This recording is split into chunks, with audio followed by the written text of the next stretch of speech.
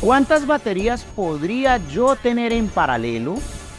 ¿Cuáles son las desventajas si me paso de esas recomendaciones?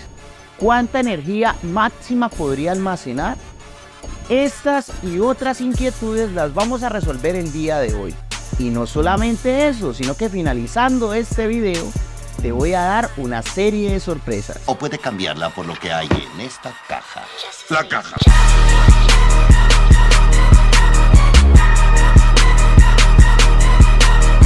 Bueno, antes de entender todo este tema de baterías, primero hay que tener en cuenta cuánta energía se puede almacenar en una batería. Si por ejemplo tenemos baterías de 100 amperios, 100 amperios hora a 12 voltios, según la famosísima ley de Watt, la ley de Watt, tenemos el poderosísimo triángulo. ¿Se acuerdan del triángulo? Donde P, B por I. Entonces, potencia es igual a B por I. Entonces, la potencia sería de 100 amperios por 12, 1200 vatios de almacenamiento en ese banco de baterías, 1200. Pero también, si ustedes han seguido este canal hace tiempos, saben que una batería de gel, en este caso una batería de gel o AGM, pues podría llegar a almacenar los 1200, pero no se recomienda utilizar esos 1200, no, se recomienda descargarla al 50%, o sea, 600 vatios.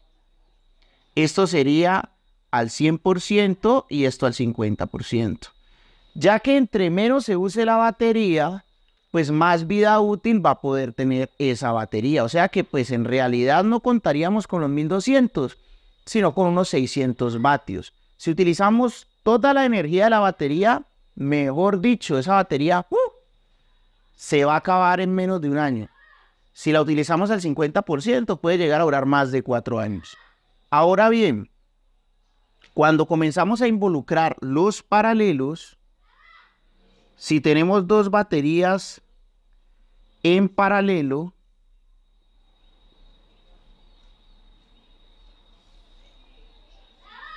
de esta forma, en paralelo se suma es la corriente. Entonces, tendríamos en total 200 amperios a 12 voltios.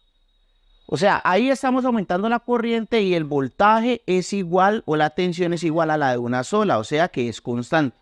Por lo tanto, si multiplicamos estos dos por ley de Watt, vamos a tener 2400 vatios. O sea que vamos a poder contar con 1200, según lo que les he explicado en estos momentos.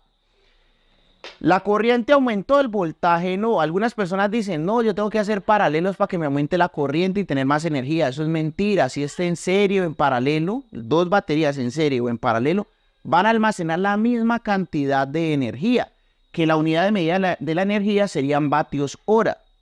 La gran desventaja es que cuando comenzamos a involucrar paralelos, la energía va a entrar es aquí.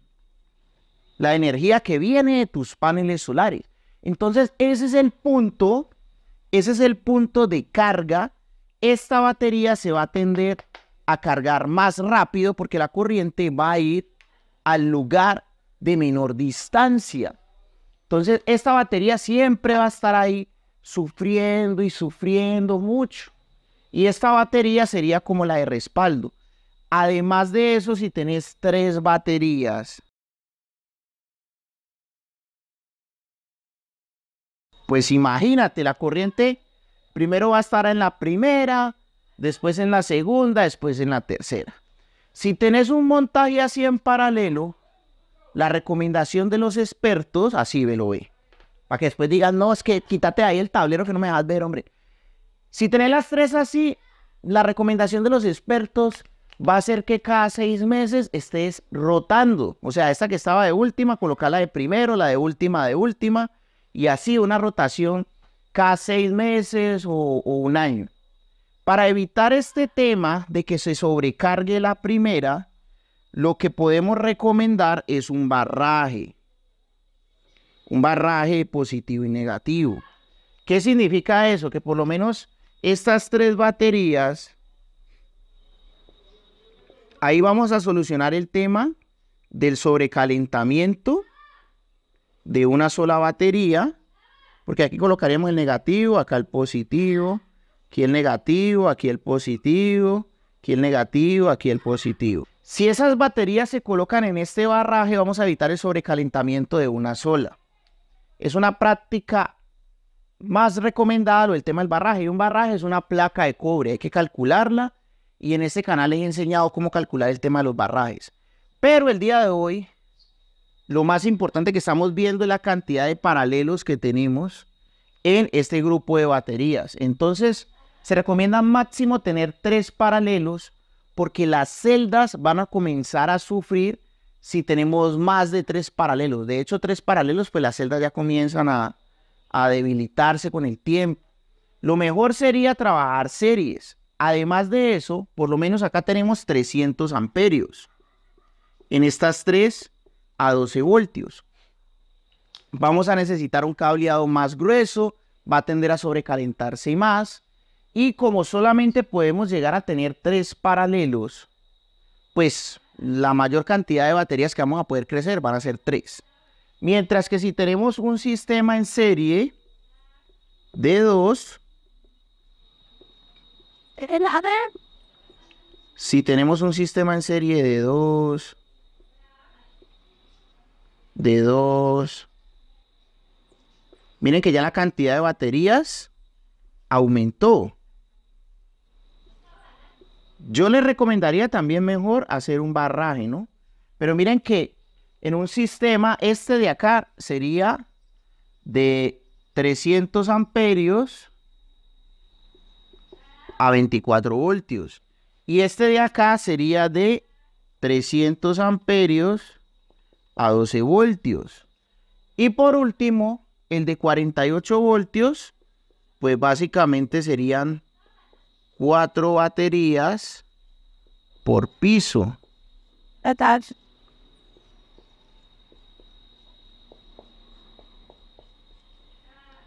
Entonces,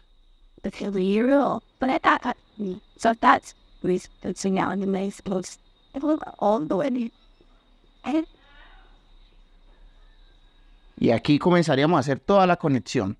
Si ven que el nivel de corriente de estos tres bancos que estamos haciendo aquí es el mismo, estaríamos hablando de 300 amperios, pero a 48 voltios. ¿Qué vamos concluyendo? Que entre mayor sea el nivel de tensión, más posibilidad vamos a tener de crecer, más capacidad de almacenamiento de energía vamos a poder tener si tenemos una tensión en nuestro banco de baterías más alto. Es mejor 48 voltios que 24 o que 12. Y otra de las recomendaciones que les he dado el día de hoy es que si vamos a hacer paralelo, lo mejor es un barraje. Es un barraje. ¿Por qué? Porque vamos a poder utilizar un cable más delgado, no se va a sobrecalentar y vamos a evitar el problema de estar en rotación. Imagínate vos tener este banco de de 4, 8, 12 baterías y, y cada seis meses o cada año tener que estar rotando las de arriba con las de abajo, las del medio. Pues es un problemota. Lo mejor es hacer el barraje y tratar de trabajar con un nivel de tensión mucho más alto. Recuerden que los paralelos nos debilitan las baterías, nos sobrecargan la primera batería donde llega principalmente la corriente de carga y además de eso nos acorta la vida útil de nuestro banco de baterías. Y el banco de baterías es el corazón del sistema de energía solar. Si no haces un buen manejo de estos bancos, pues tu sistema no va a ser muy bueno. Por último, les quiero regalar lo siguiente. Si tenemos 300 amperios, aquí el controlador más o menos debería ser del 30%. ¿Qué significa eso? el 10% serían 30 amperios. O sea que el controlador de este banco debería ser de 90 amperios a 12 voltios.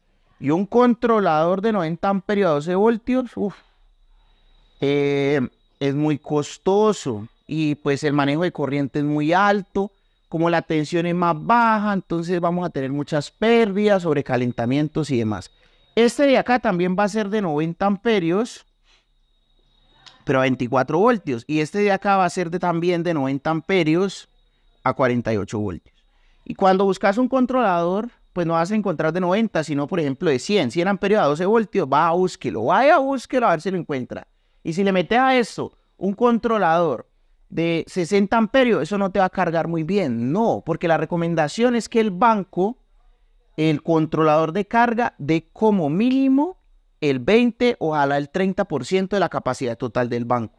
Entonces, para este banco necesitaríamos un controlador de 100 amperios 12 voltios, 100 amperios 24, 148.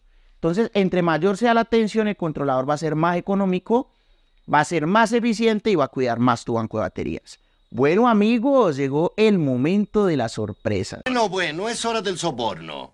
Ahora, puede llevarse una de estas lavadoras automáticas que nos muestra el adorable Smithers o puede cambiarla por lo que hay en esta caja. La caja. La ca bueno familia, tengo estas sorpresas para ti. Como te quedaste hasta el final de este video, tengo estas sorpresas para ti. La primera es que vamos a arrancar nuestro curso de energía solar. Cuatro clases en vivo más un mes de acceso a la plataforma de estudios. Tienes derecho a una beca del 80%. Contáctame aquí abajo. Tienes la gran oportunidad de comprar excelentes productos de energía solar en mi tienda de recomendados de Amazon. Así que en la descripción del video te dejaré el enlace para que conozcas qué productos puedes comprar de forma segura con la garantía de Amazon. ¿Necesitas una asesoría en un proyecto de energía solar? No lo dudes más, contáctame en la descripción de este video. Si estás en Colombia, puedes comprarme los elementos de energía solar y gratis vas a recibir una asesoría básica de cómo puede ser la instalación de estos productos. Muchísimas gracias por tu donación vía PayPal. Esta es mi cuenta de PayPal. Muchas gracias por haber participado de este video. Nos vemos en un próximo video.